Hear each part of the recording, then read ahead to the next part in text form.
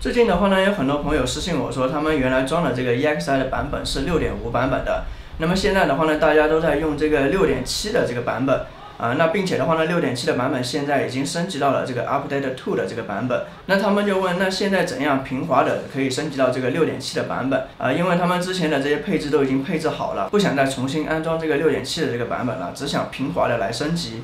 今天的话呢，我就来教大家来升级一下，因为 EXI 升级的话呢也比较麻烦，因为它在这个后台没有一键升级的这个功能。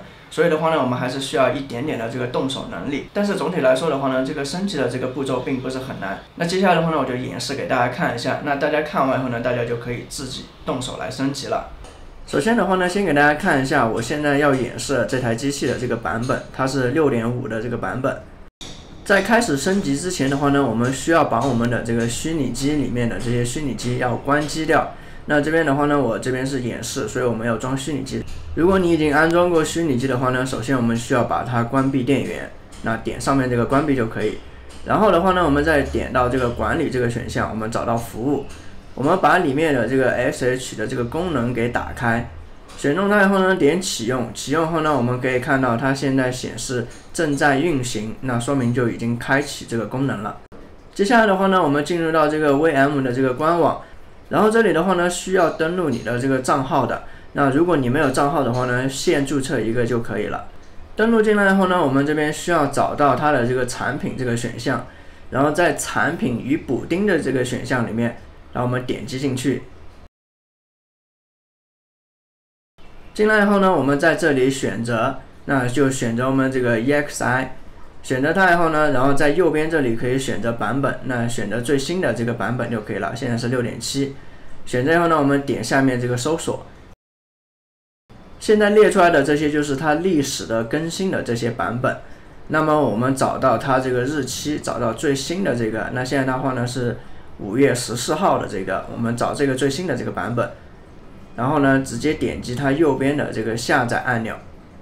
下载出来以后呢，它是这样一个压缩包啊。那么这个压缩包的话呢，我们不需要解压，那我们就先放在一边。然后进入到这个 EXI 的后台，我们找到存储，然后找到它的这个磁盘，然后呢点击这个数据存储浏览器，打开后呢，我们直接把我们刚才下载下来的这个升级包给上传进去。上传完成以后呢，它还是以一个压缩包的形式呈现在里面。接下来的话呢，我们需要登录这个 SH 去操作。那么苹果电脑直接打开终端就可以。那如果你是这个 Windows 电脑，那么你可以下载 Party 这种软件来登录。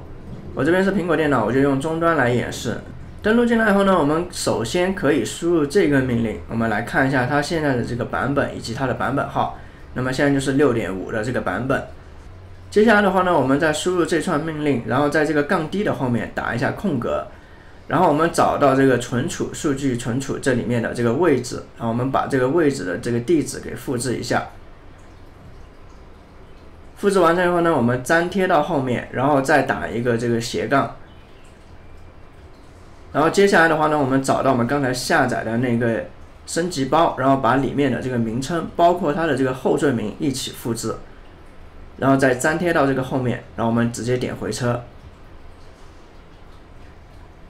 那大家可以看到，它现在已经列出了两个信息。那如果列出这两个信息的话呢，就是升级包的这个信息。那说明我们现在这个版本是可以升级的，并且我们下载的这个升级包，它现在也是完好无损的。接下来的话呢，我们再输入这个命令，我们就可以开始升级了。那这个命令的话呢，这里要注意，和上面的很像，那只是这里的话呢是 update，然后上面是 list，那这里的话呢是不同的。那大家输入的时候要注意一下。好的，那输入完以后呢，同样在杠 D 的后面打空格，然后同样的把这个位置给复制进来，然后同样的打一个斜杠，然后还是把这个升级包的文件以及它的这个后缀名给复制进来。复制进来后呢，我们打一下这个空格，然后我们在后面输入杠 P，然后再打一个空格。然后这里的话呢，我们就把上面的这个信息给复制一下。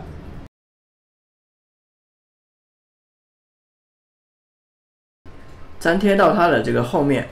那现在的话呢，我们就可以直接回车了。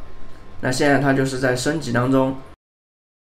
升级完成以后呢，它就会列出这样一串信息啊。那这里我们就不用管了。然后我们接着的话呢，我们就在这里输入一个重启的这个命令，然后让它重启一下。当重启完成以后呢，我们重新登录我们这个 EXI 的这个后台，然后我们点到这个主机，我们来看一下。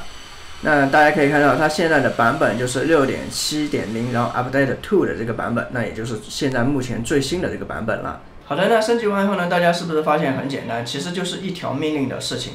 那有的朋友会说，你演示的是这个六点五版本升级到六点七的最新版本，那么我们现在用的就是六点七的版本了，只是还没有升级到这个最新的这个 Update Two 的这个版本。那六点七要怎样来升级到六点七的这个 Update Two 的最新版本呢？其实操作方法和之前是一模一样的，只是在下载这个升级包的时候，我们有两个选择，一个就是我们之前安装的那个升级包。